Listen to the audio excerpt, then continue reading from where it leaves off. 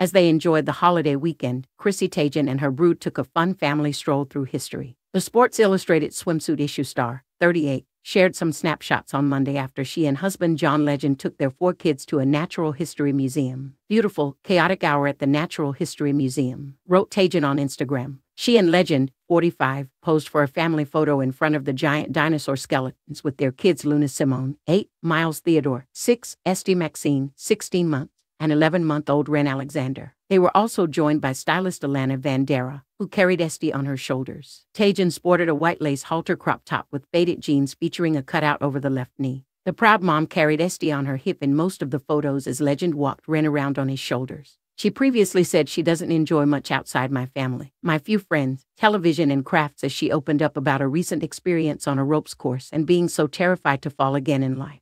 I thought that since I have seen times that were so dark since the last time I did this, that I would be fearless on this goddamn thing. But I'm still so scared, she wrote in part on Instagram. In 2020, the couple suffered the loss of their unborn son Jack at 20 weeks due to complications with the pregnancy. I feel like a very shrunken version of myself. And I know I am meant to be big, Teigen wrote on Thursday. I'm really scared of letting you guys down, and I find myself fighting with myself all day in my brain with things I want to say, things I want to explain, but I'm just so fearful. Teigen wrote that she misses so many parts of myself, adding, I hope one day I can shed some fear and accept that I will never be perfect for you guys, and that is okay. But for now, I will continue to work on it all and try to balance my brain with rational thoughts, and try to be kind to myself and my body and mind, she continued. And I will always continue to ramble aimlessly in captions. The Cravings cookbook author has previously been open about her mental health journey, revealing she tried ketamine therapy for her 38th birthday in November. She recalled that she saw space and time and baby Jack and some weird penguins and cried and cried and cried.